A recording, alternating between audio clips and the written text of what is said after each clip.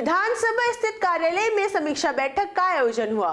बैठक में मंत्री डॉक्टर अग्रवाल ने कहा कि उत्तराखंड में कुल 23 टाउनशिप के लिए 23 स्थान चिन्हित किए गए हैं, जिनमें गढ़वाल मंडल में 12 जबकि कुमाऊं मंडल में 11 शामिल है। बताया गया कि इसके लिए जिला स्तरीय सर्वेक्षण समिति का गठन किया गया है।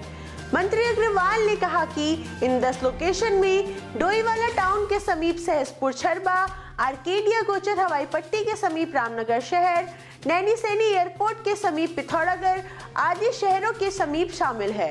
डॉक्टर अग्रवाल ने कहा कि 10 लोकेशन में टाउनशिप की वित्तीय और व्यवहारिक व्यवस्था किए जाने के लिए नियोजन विभाग द्वारा मैकेजी संस्था नियुक्त की गई है।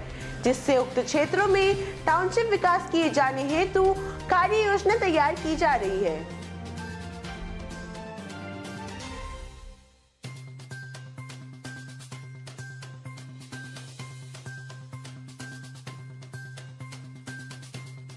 हमारे उत्तराखंड के अंदर जैसा माननीय मुख्यमंत्री जी ने भी डायरेक्शंस दिए थे और मेरे द्वारा भी लगातार कहा गया था कि हमारे प्रदेश के अंदर नई टाउनशिप डेवलप होनी चाहिए।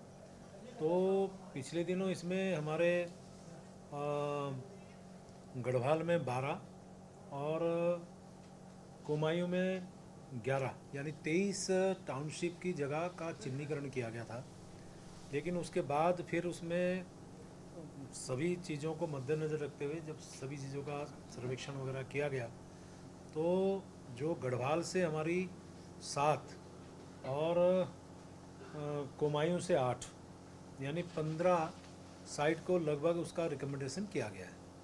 लेकिन अब हमारे यहाँ लगभग दस जो साइट हैं, उस पर हम लोग पहले चरण में यानी कि प्राथमिकता के आधार पे उन पे एक्सरसाइज कर रहे हैं। मुझे ये कहते हुए अच्छा लग रहा है कि हमारी जो टीम है, हमारा जो विभाग है, इसमें बहुत तेज़ी से काम कर रहा है, बहुत गंभीरता से काम कर रहा है।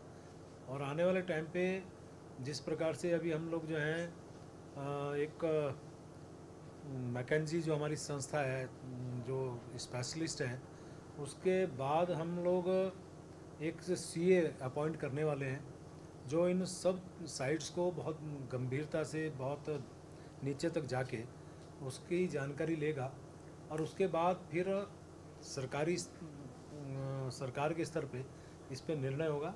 तब जाके हमारी जो टाउनशिप की जो हमारी कंसेप्ट है उस पर हम अंतिम स्थिति में आ पाएँगे यानी कि हम टाउनशिप की तरफ़।